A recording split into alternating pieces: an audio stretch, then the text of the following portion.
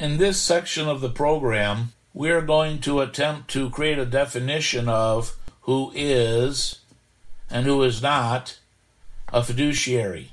Some of the dimensions are legal in interpretation, others are more regulatory foundational definitions, but let's try our best. So, who is and is not a fiduciary?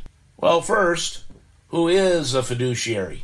Any individual or entity that has control over the plan's assets or controls over the administrative decisions governing the plan.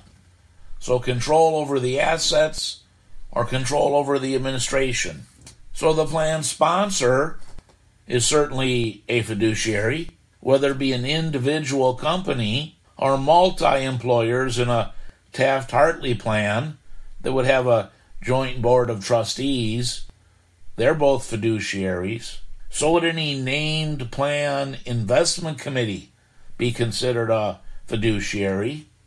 The named plan administrator or an administrative committee, they're fiduciaries. But so are the investment managers, whether they be a bank or an insurance company or a registered investment advisor. They are not only considered fiduciaries, but we would want to see written acknowledgement by that firm of their acceptance of delegation to them of their investment responsibilities. The trustee of the plan is a fiduciary. So, who is not a fiduciary? The record keeper that maintains the participant records, if that's all they do, the custodian of the plan assets, assuming that institution is not also trustee or investment advisor, but a pure custodian is not a fiduciary. And so is anyone else providing, let's call them ancillary services, like a consultant,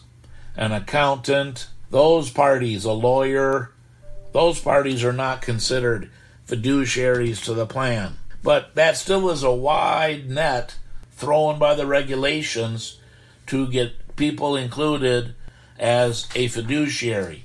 And all those people we mentioned as being a fiduciary are held to those four governing standards the exclusive purpose rule, the prudent expert rule, the requirement that we diversify, and the requirement that we comply with both the documents and the federal law. That's something to keep in mind when we're talking about what are the duties of a fiduciary. But I would say more globally and with less specificity, I would say to act exclusively in the participant's best interest is a generic term we would all be well served to understand.